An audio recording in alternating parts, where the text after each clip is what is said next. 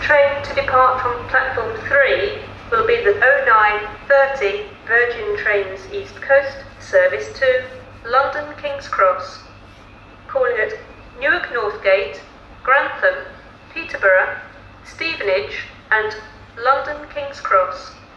Platform 3 for the 0930 Virgin Trains East Coast service to London King's Cross.